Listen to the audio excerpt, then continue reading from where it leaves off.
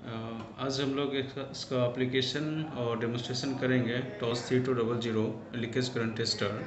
So एक one by one करके सारे फ़ंक्शन को मैं एक्सप्लेन करूँगा, ताकि समझने में इजी होगा। तो ये हमारा प्रोब सिलेक्शन है, जिसको ए और बी यहाँ इंडिकेशन होता है। तो जो भी प्रोब हम सेलेक्ट करते हैं, दोनों उसी उसी के अकॉर्डिंग क्या ये हाईलाइटेड हो जाता है।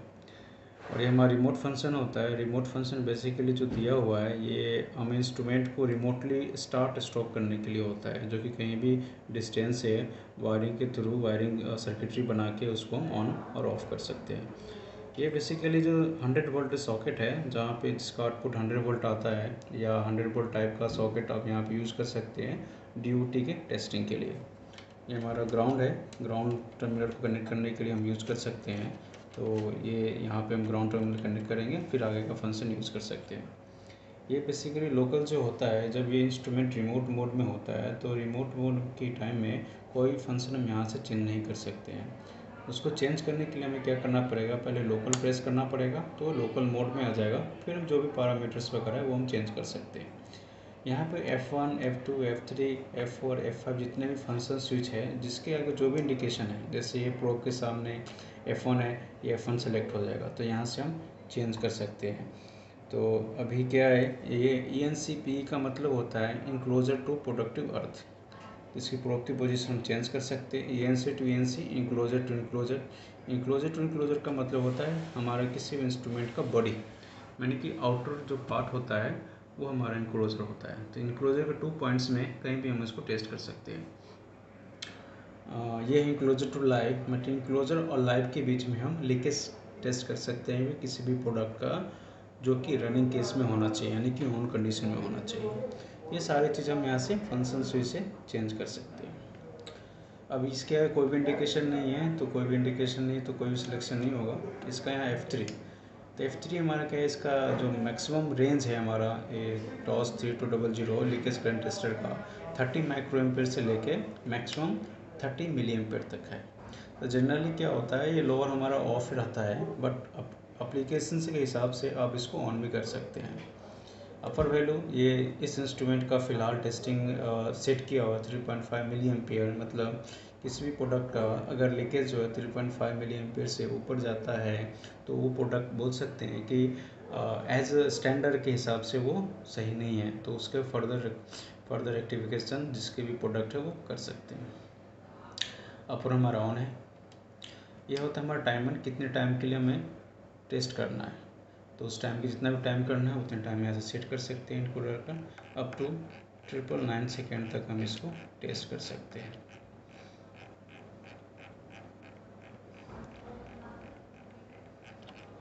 तो ये हमारा बेसिक डिस्प्ले फ़ंक्शन पार्ट हो गया।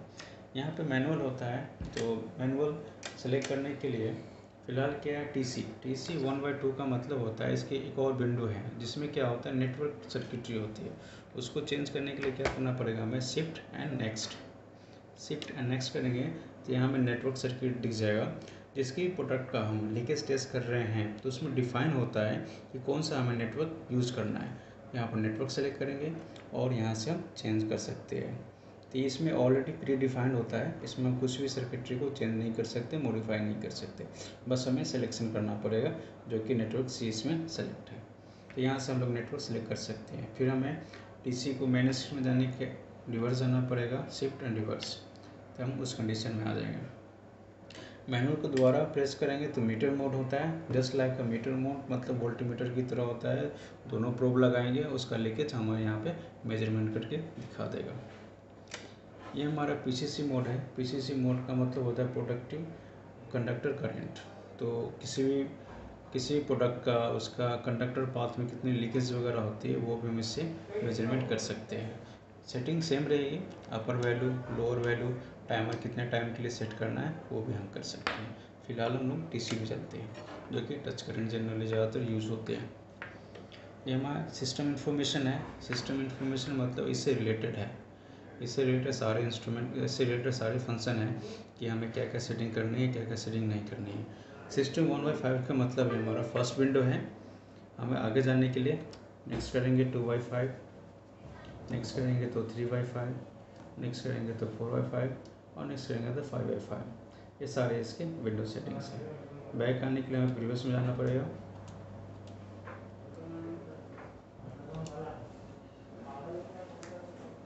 ये हमारा ऑटो है।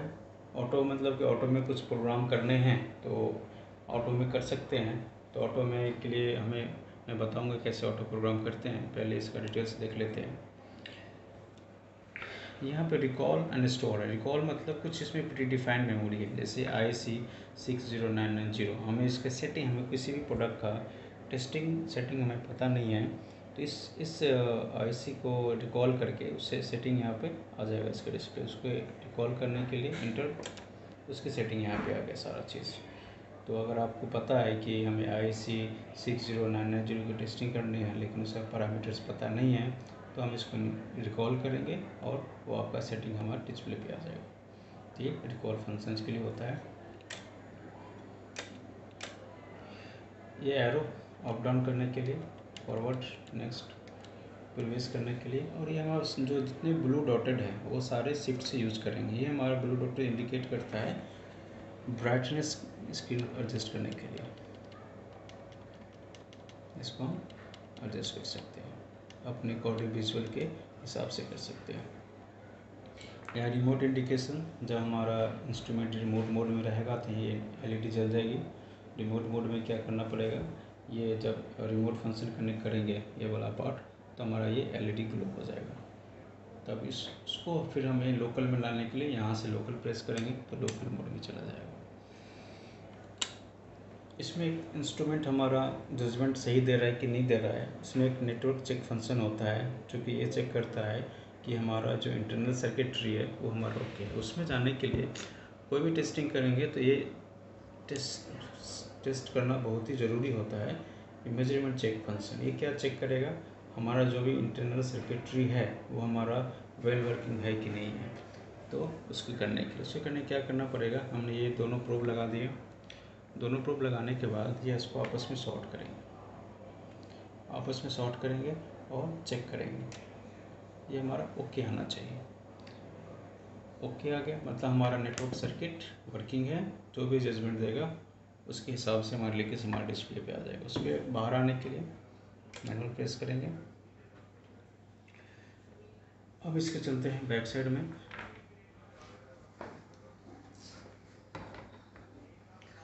ये इसका यू भी है जीपीआई भी है R S two thirty two है और ये इनपुट आउटपुट सिग्नल है। R S two thirty two इसका टेस्ट रिज़ल्ट अपने पीएलसी अपने सॉफ्टवेयर में लेने के लिए हम R S two thirty two communication use करेंगे। ये यूटी का मतलब होता है कि इसमें एक और पावर कोड लगेगा और वो पावर कोड हमारे नेटवर्क से होके हुए यहाँ से आउट होगा।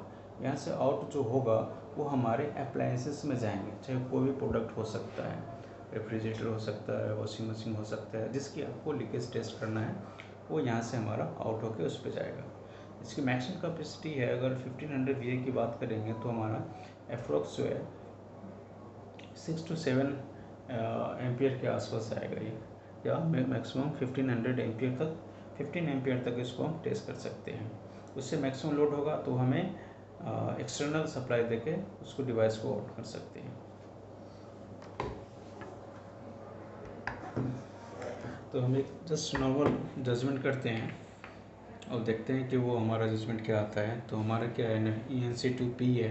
मतलब इनक्लोजर टू प्रोडक्टिव अर्थ है तो अभी हमारे पास कोई प्रोडक्ट है नहीं, बस नॉर्मली हम ऑन देख लेते हैं। टाइमर ऑफ़ है तो टाइमर को ऑन कर लेते हैं और 10 सेकेंड के लिए स्टार्ट करते हैं।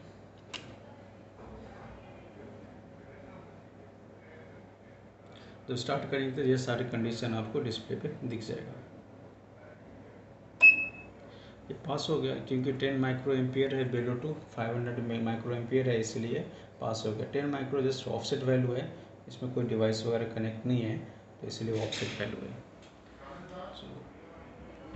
कंटिन्यूस आप, देखते रहिए लेटेस्ट प्रोडक्ट के बारे में हम, आप लेटेस्ट प्रोडक्ट जो भी हमारे पास आएँगे, उसके बारे में वीडियो वगैरह हम डालते रहेंगे। और स्पेशल किसी तरह का वीडियो चाहिए तो आप हम लोग को इनबॉक्स कर सकते हैं, ताकि आपको स्पेशल वीडियो बना के हम भेज सकते हैं आपको अंडरस्टैंडिंग के लिए। Thank you so much